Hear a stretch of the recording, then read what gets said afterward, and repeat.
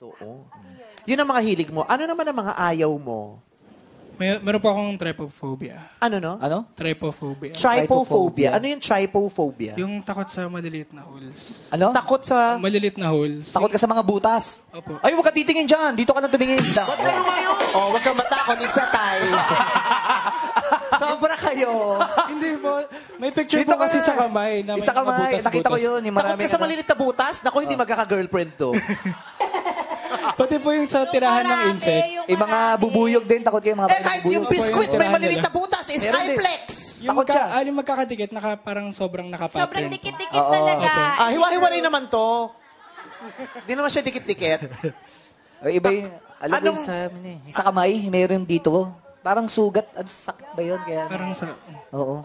So, Kadiri. paanong pag nakakakita ka ng maliliit na butas ng magkakatabi, anong nararamdaman mo at anong ginagawa mo? Nakakilabot, tapos tumataas yung balahibo ko. Tapos parang maganon. Basta magkakadikit. Paano kung isang butas lang naman?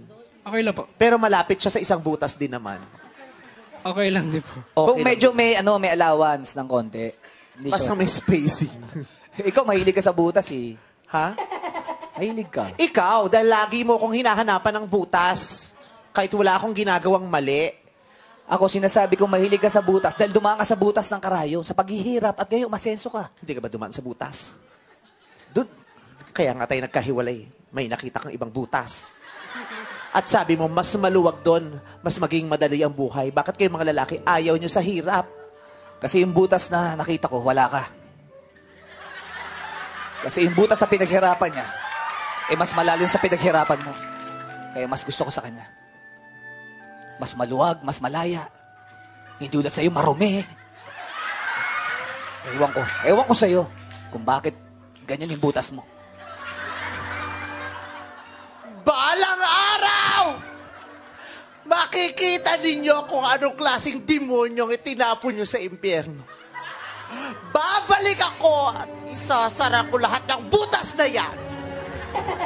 Pero alam mo, nung lumaki ko at nakaluwag-luwag ako sa buhay, Oo. yan talagang sabi ko, ipapasara ko ang mga butas na iniyakan ko dati. Ah. Yung butas ng bubong namin, Oo. butas ng dingding, butas ng sahig. Maraming butas talagang nakapagpalungkot sa akin nung lumalaki ako. Kaya ngayon sisiguraduhin ko, wala akong makikitang butas. Hanggat kakayanin ko, isasara ko lahat ng butas na makikita ko. Sisiguraduhin kong walang makakapasok dyan. Kahit langgam. Sino ang unahin mo? Kaninong butas? Unahin ko na yung akin. Matagal ko na rin iniinda itong mga butas na to. Oy, kumonti na nga to eh. Actually, si Dr. Abelo, sabi niya, ano ka ba? Tanggalin na natin lahat yan. Kasi kayang-kaya naman tanggalin ni Dr. Abela. Sabi ko, wag. Kailangan may matira sa akin konting imperfections. Kasi nahihirapan talaga akong magpatawa dahil ang ganda ko. Diba? Talaga ba? Ah, kasi pag perfect, mahirap na. Di ba sa Pilipinas, ang kultura ng comedy, pag komedyante ka, kailangan pangit ka, kailangan binabatukan ka, kailangan marami kang kapintasan. Ang hirap for me to do that. Kasi di ba almost perfect? Almost. Ako talaga, after Virgin Mary, ako na talaga yung perfection. Ganun talaga. Eh, ba't si Ryan? Idol ka ba ng anak mo?